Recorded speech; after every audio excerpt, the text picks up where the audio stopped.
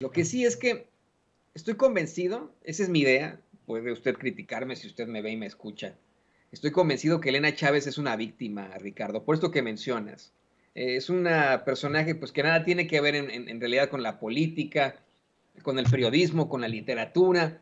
Pues es una señora que tuvo ahí una eh, relación sentimental con otro señor que era cercano al presidente López Obrador y que luego de tener esta eh, tortuosa pues relación, si se le puede llamar así, es utilizada por la ultraderecha mexicana, por las esferas del poder, para fines políticos. Yo creo que ella es una víctima. Eh, a mucha gente le está molestando lo que hace ella. La han incluso, como tú bien mencionas, caricaturizado.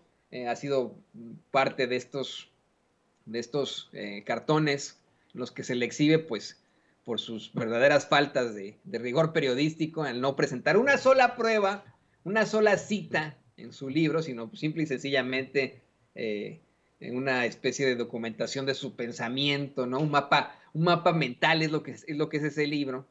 Eh, pero creo y estoy convencido que es una víctima del conservadurismo en México. Como muchas otras personas podrían ser víctima de esto, ¿no?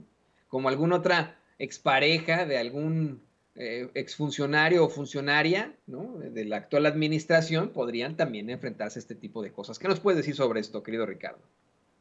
Claro que sí, Toño. Primero, el, el tipo que dices eh, de, de Tragaluz es Fernando del Collado, eh, un personaje muy cercano, por cierto, a Carlos Loret de Mola y a, uno de los hombres que están, muy, eh, están detrás del discurso de, de, Lord Montajes. Y en segundo lugar, pues yo no estoy tan seguro de que sea una víctima. Han circulado videos donde esta mujer ha hecho gala de, de, pues de de una arrogancia infinita, ha, buscado eh, tener eh, o buscó en su momento tener una buena tajada de animales que vendía, fue acusada incluso en estos videos y ahí se pueden ver en las redes sociales que tenía una actitud eh, no de protección a los, a, los perros que tenía ella, la acusaron de fingir que los protegía y en realidad los estaba vendiendo, terminaron llevándola al Ministerio Público, ella se negaba, hizo gala ahí o la finta de que iba a hablar con eh, Claudia Sheinbaum, incluso dijo, a ver si se atreve Claudia, a ver si tiene los pantalones para que me lleven,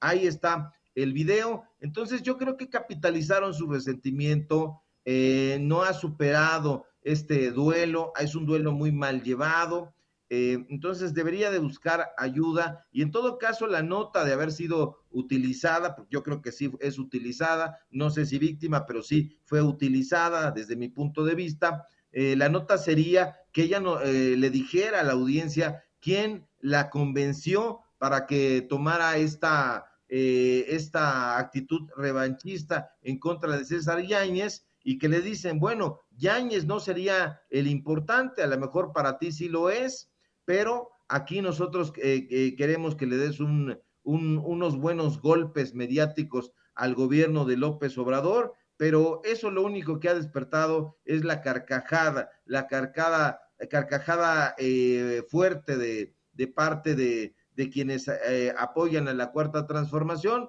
porque eso está desnudando a estos intelectuales que no tienen rigor periodístico y como no tienen rigor periodístico, eso nos hace ver que no hay periodistas entre ellos. Por más que tienen unidades de investigación especial en Latinus, no dan una. Por más que tienen unidades de investigación especial en eh, Animal Político, eh, con Carmen Aristegui, y luego hasta hacen una especie de conglomerado, no le salen las cosas. Entonces uno dice, ¿qué es lo que está pasando con estos personajes que incluso estudiaron en el extranjero? Y pues aquí en las redes sociales, eh, un puñado de, periodistas de investigación con las, los pocos eh, elementos y las herramientas que tenemos, les hemos dado varias tundas. Entonces, o no lo saben hacer, o no les gusta, o sencillamente están muy ocupados tratando de, sacar adelante las órdenes que les dan en, esos medios de comunicación los dueños y sus jefes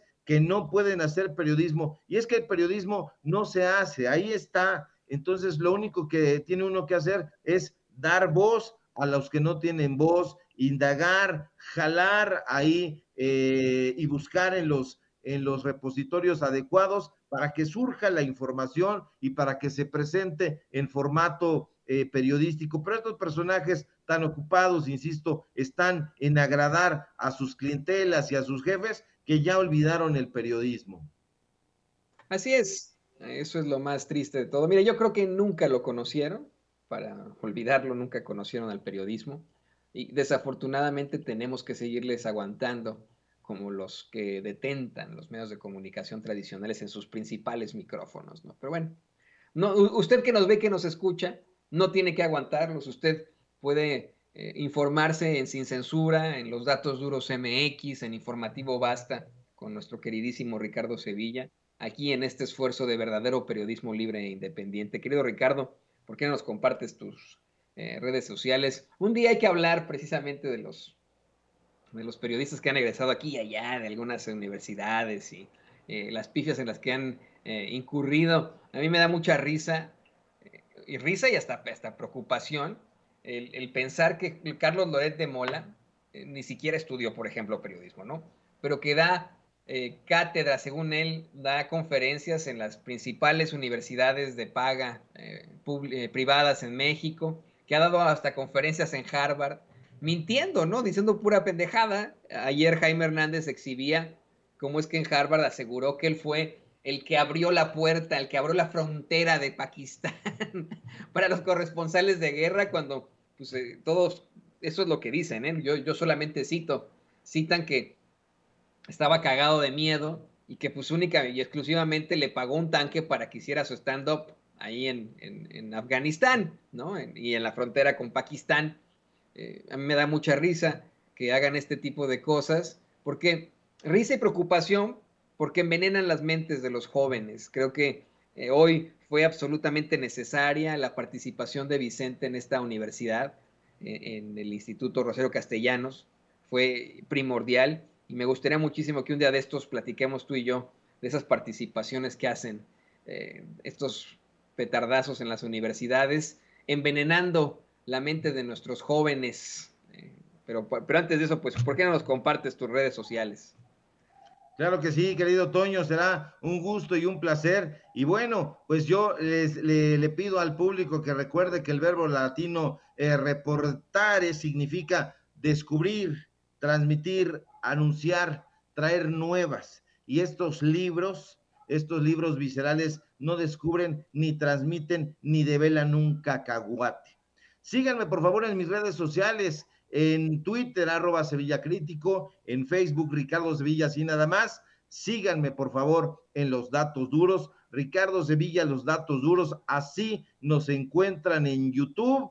Ayer no, eh, no no sé qué pasó, que no nos eh, no, dio eh, la alerta de que había iniciado el programa, pero son los juegos a los que nos somete eh, YouTube, pero busquen, insistan, porque la información, la información está aquí en los medios de comunicación alternativos. Síganme, por favor, aquí en, en Sin Censura, todos los días en punto de las 11 de la mañana. Eh, y por favor, síganme y léanme en el diario Basta, donde estoy escribiendo precisamente una columna. Ya la compartimos la de hoy en las redes sociales. Y bueno, si todo marcha bien, querido Toño, ojalá que sí. Nos encontramos por aquí el día de mañana con la investigación especial. Te mando un fuerte abrazo. Yo te mando un gran abrazo y te agradezco, querido Ricardo Sevilla, aquí, aquí en Sin Censura. Y grábenos, don David,